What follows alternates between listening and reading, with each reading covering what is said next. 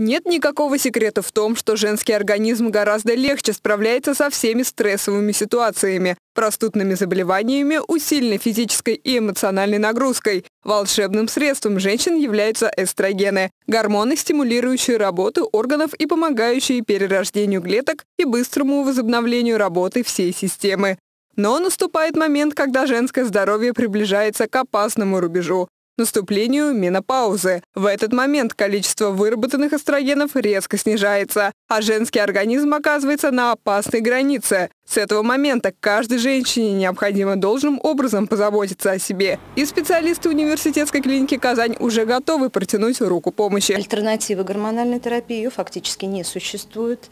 И, естественно, стопроцентная помощь может быть только от гормонов. Вопрос другой, что большому проценту населения гормональная терапия может быть противопоказана или женщина категорически от нее отказывается тогда в этот момент мы должны решить, какую помощь ей оказать. Чем раньше назначена терапия, тем лучше эффект от нее. В этом и заключается так называемое окно терапевтических возможностей. Также настоятельно рекомендуется провести исследование ультразвукового типа. Также большое значение имеет э, именно диагностика.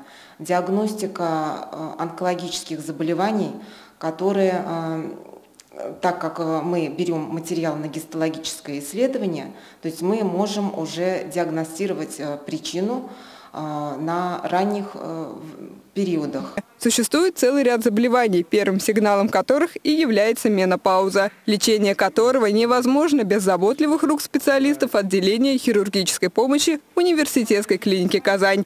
А, конечно, у каждого отделения есть специфика. Спецификой нашего отделения является оказание хирургической помощи.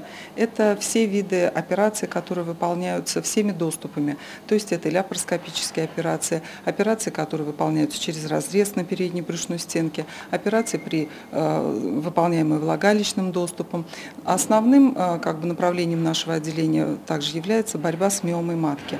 Возникновение различных женских заболеваний особенно вероятно, если женщине больше 40 лет. Поэтому необходимо знать врага в лицо и всегда помнить основные полезные для здоровья правила, которые остаются актуальными вне зависимости от возраста. И тогда вопрос, как сохранить здоровье после 40, перестанет волновать вас еще долгие годы.